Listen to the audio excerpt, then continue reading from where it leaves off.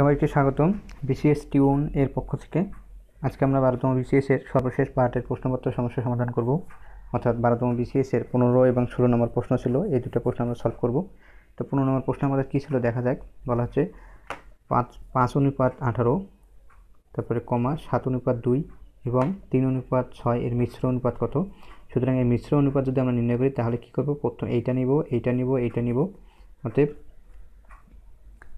আমরা যদি মিশ্র অনুপাত বের করতে চাই, তাহলে অতএব আমরা নিব পাঁচ গুণন সাত গুণন তিন অনুপাত। আমরা পরেরটা নিব আঠারো গুণন দুই গুণন ছয়, ওকে? দেন একটা আমাদের কত আসে? সো এটা আমাদের আসে একশো পাঁচ গুণ করলে, এবং এটা আসে আমাদের দুইশো ষোলো, ওকে? সো এটাকে যদি আমরা ভাগ করি একশো পাঁচ ডিভাইড বাই দুইশো ষোলো ইকুয়াল টু আমাদের আসবে পঁয়ত্রিশ ডিভাইড বাই বাহাত্তর। ওকে সো এটাকে আমরা পঁয়ত্রিশ অনুপাত বাহাত্তর লিখতে পারি। তো আমরা আনসার পেয়ে গেছি, আশা করি বুঝতে পারছেন। আমরা কী করলাম? প্রথম মিশ্র যদি নেই, অর্থাৎ মিশ্র অনুপাত যদি চাই তাহলে প্রত্যেকটার প্রথমটা নিতে হবে। তারপরে অনুপাত দিয়ে প্রত্যেকটা দ্বিতীয় দিয়ে গুণ করতে হবে। দ্বিতীয়টা গুণ করতে হবে। তো পাঁচ, সাত, তিন, তাহলে পাঁচ সাত, তিন, এরপর দ্বিতীয়টা আঠারো, গুণন দুই, গুণন ছয়। সো এই তিনটাকে গুণ করলে হয় একশো পাঁচ। এই তিনটাকে গুণ করলে দুইশো ষোলো। তো এইটা আমরা জানি অনুপাত সমান ভাগ। তো একশো পাঁচ ভাগ এত দিলাম বোঝার সুবিধার্থে। সো পঁয়ত্রিশ যা সো আমরা যদি কাটি, তিন দ্বারা যদি কাটি, তাহলে আমাদের এইরকম হয়। সো এইটাকে আমরা এইরকম লিখলাম। আনসার আমরা পেয়ে গেছি। অপশনে আমাদের আনসার দেওয়া আছে। আপনারা অবশ্যই কমেন্টের মাধ্যমে আমাদেরকে আনসারটি জানিয়ে দিবেন। চলে যাচ্ছে আমরা পরবর্তী ম্যাথে পরবর্তী ম্যাথে আমাদের কী দেওয়া আছে? বলা হচ্ছে যে সুষম বহুভুজের একটি অন্তকোণের পরিমাণ একশো পঁয়ত্রিশ ডিগ্রি হলে একটি বাহুর সংখ্যা কত? অর্থাৎ যে কোনো বহুভুজের বাহুর সংখ্যা যদি আমরা নির্ণয় করতে চাই, তার একটা সূত্র আছে কমন সূত্র। সেটা যে কোনো বহুভুজের বাহু বের করে দিবে। তো দেখি সলিউশন সুষম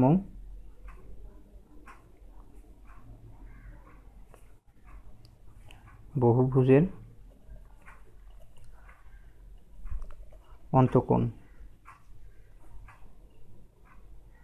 Equal to two n n এখানে বাহু সংখ্যা minus four divide by n গুণন নাইনটি ওকে এটা হলো আমাদের ফর্মুলা যে কোনো বহুভুজের বাহু বের করা অথবা অন্তকোণ বের করার ক্ষেত্রে। তো আমাদের অন্তকোণ যেহেতু একশো পঁয়ত্রিশ দিয়ে আছে সো আমরা এন এর সংখ্যা বাই করব টু এন গুণন ফোর এন গুণন নাইনটি সুতরাং আমরা যদি এটাকে ক্যালকুলেশন করি, সুতরাং আসে একশো পঁয়ত্রিশ ডিগ্রি গুণন এন এখানে আসে হলো কত? তাহলে টু এন মাইনাস ফোর গুণন আসে কত? নাইনটি সুতরাং একশো পঁয়ত্রিশ গুণন এন ইকুয়াল টু এটাকে যদি আমরা গুণ করি, তাহলে টু এন গুণন নাইনটি মাইনাস তিনশো, অর্থাৎ নব্বই দ্বারা চারকে গুণ করলে তিনশো ষাট। আমাদের নাইনটি হবে, এটা চার হবে। এটা হবে নয়।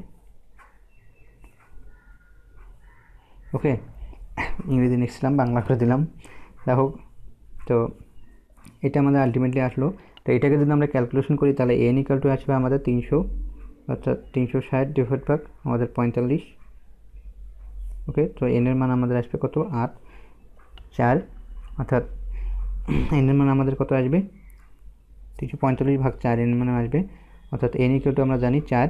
সো আমরা বাহুর সংখ্যা পাওয়া গেছি যে সুষম বহু যে বাহুর সংখ্যা আমরা এই ডিগ্রি যদি দেওয়া থাকে, তাহলে সুষম বহুভুজের বাহু সংখ্যা হবে চার অপশনে আমাদের আনসার দেওয়া আছে। আপনারা অবশ্যই অবশ্যই কমেন্টের মাধ্যমে আনসারটা জানিয়ে দেবেন। আর আমাদের ভিডিও যদি কোথাও করে বুঝতে প্রবলেম হয়, তাহলে অবশ্যই আমাদের কমেন্টের মাধ্যমে জানিয়ে দেবেন। ধন্যবাদ সবাইকে। দেখা হবে পরবর্তী টিউটোরিয়ালে